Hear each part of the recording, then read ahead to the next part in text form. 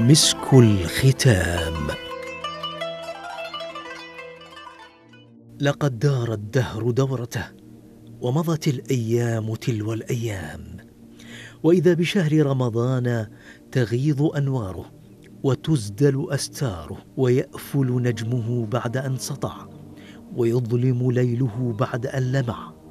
ها هو شهر الخير يرتحل وصفحاته تطوى ولحظاته تسعى.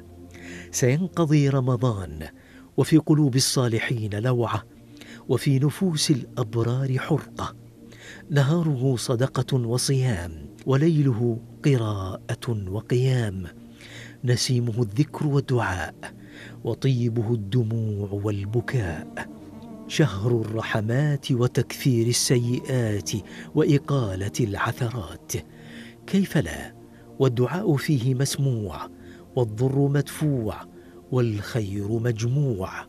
حق لنا أن نبكي على رحيله ونحن لا نعلم أمن المقبولين نحن أم من المطرودين. ها هو رمضان يرحل ليعلن فينا أن كل شيء إلى فوات وكل جمع إلى شتات. وكل حي إلى موات وأن الله عز وجل يجمع الناس كل الناس ليوم لا ريب فيه. ربنا إنك جامع الناس ليوم لا ريب فيه. إن الله لا يخلف الميعاد.